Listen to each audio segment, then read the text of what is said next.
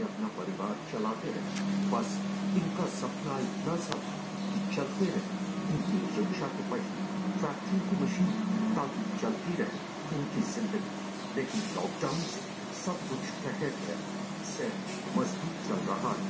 کیونکہ وہ مجبور اور گھر لوٹنے کی اسی آفات مزدوروں کو جان کی گنوانی پر رہی ہے۔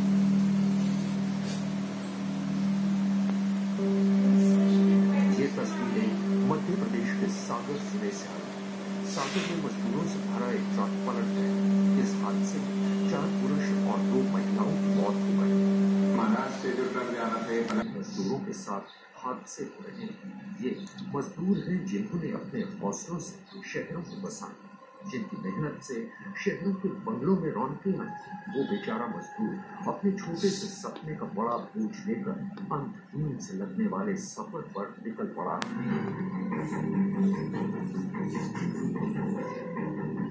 یہ تصویریں اتر پردیش کے ہاپور ضلع سے آئی۔